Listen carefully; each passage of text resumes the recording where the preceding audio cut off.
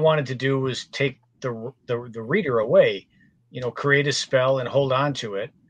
And I've been really happy with the reaction. I'm, you know, like I said, I'm not going to make any money on the book, and that's fine.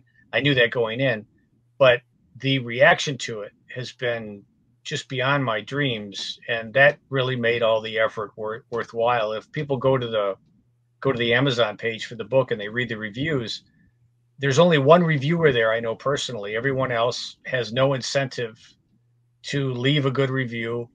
And the thing I'm really happy about is that without me telling people what I wanted to do with the book, other than write a page turner, they're picking up on things that I wanted to do. So um, it's been a very gratifying experience. Um, and I, like I said, I'm I, I wasn't too happy I wrote it because it took up so much time, but now I'm very happy I wrote it because the response has been really gratifying, very satisfying.